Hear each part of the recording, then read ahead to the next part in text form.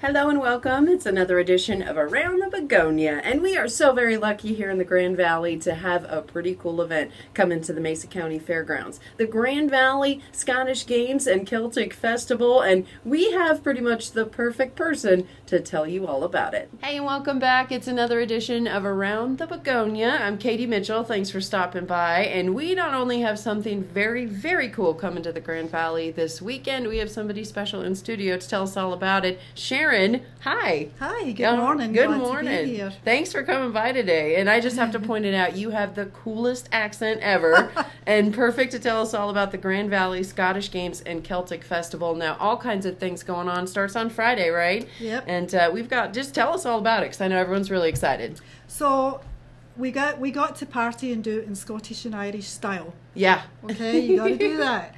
So we start off Friday night. Here we go. Warehouse 2565 mm-hmm. at 7 o'clock. We will have all the entertainment from the festival at the warehouse that night. Let's all party on down. You get to meet them. Mm-hmm.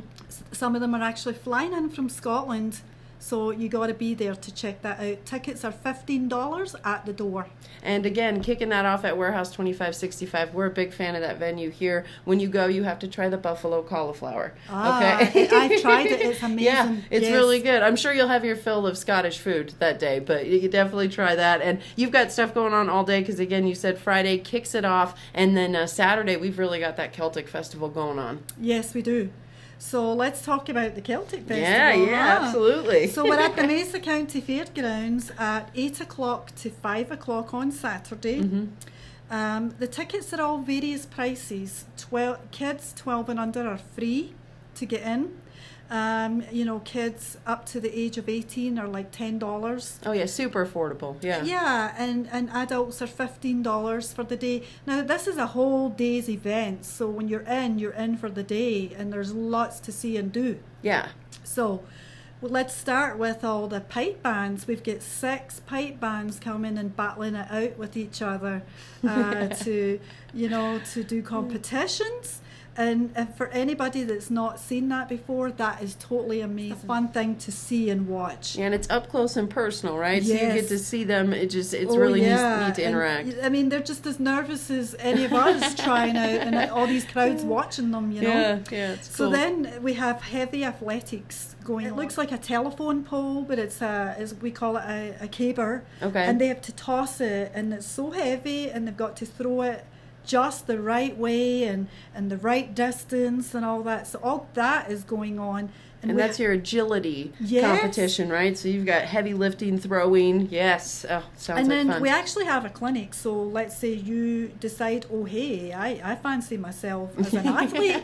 oh, I bet you can't do that. Well, you just go over there and you, you can learn actually, how. you can actually try it. And I noticed too, you have a, one of my favorite things about the festivals are the clans, like the family heritage. You've got the crests and everything, right? And they tell a lot about the lineage, which is really neat. You can go learn a lot about Scottish uh, heritage as well that is one of the most important things about mm-hmm. these festivals and uh, why we have it uh, to inform people of their heritage mm-hmm. basically in this day and age everybody's looking at ancestry.com and things like that so i mean this you could go in with the last name of black say and you want to find your clan and you want to know the history or am I Scottish, am I Irish, and mm-hmm. they go back and they tell you all kinds of things. And what would the Scottish, uh, the Celtic festival be without kilts? I know a lot mm-hmm. of those, right? yeah, there's so many beautiful tartans we call it. it Tartals? It like tartan. Tartans. It okay. looks like plaid, but it's tartan, and that basically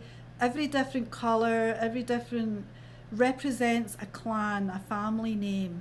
Everybody has their own tartans. That is neat. Yeah, and yeah. you can see them all on display, right? They have them hanging yeah. up, and you can see them. You can actually buy them from me. okay. Oh, nice. Nice plug there. Good job. Yeah, I actually have a Scottish business where I um, import all kinds of goods from Scotland and Ireland.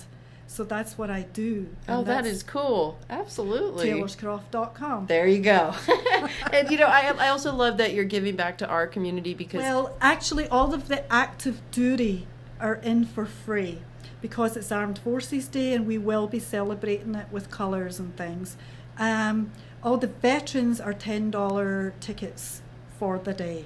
Okay. Yes. That's perfect. That's so great that they get to go out and experience it. And then after the big festival that night out at Edgewater Brewery, we want to give a big shout out to them because they have custom designed a beer brewed it specifically for the Grand Valley Scottish Games and Celtic Festival. Tell us about that beer, Sharon. That is Scottish ale. Woo! Yes. So custom brewed especially for this event.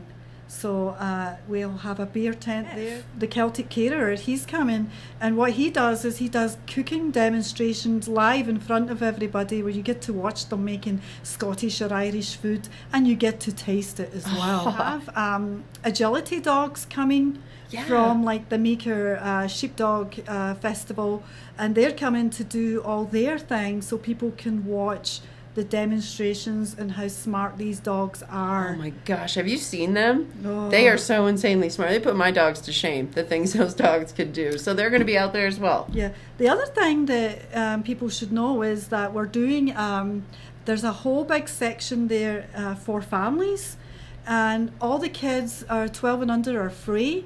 So when they come in, there'll be a section there like it's got bouncy castles for them. Nice. There's face painting. It's really neat. And again, you could just go to the website. You can get your tickets at the door, but it is gvsgcf.com. So Grand Valley Scottish Games and Celtic Festival, the acronym to that. And, uh, you know, we're really excited about this. Everyone in the Valley's talking about it, and you've really thought of everything. There is something for everyone at this festival. And again, those tickets so affordable for the whole family. It's just growing, growing by the minute. Yeah, and we're so excited for this weekend. So thank you again for stopping by. We're Thank really you. excited. Absolutely. And again, that website for you, gvsgcf.com. Hey, thanks so much for stopping by around the Begonia. Make sure you check out the Grand Valley Scottish Games and Celtic Festival this weekend.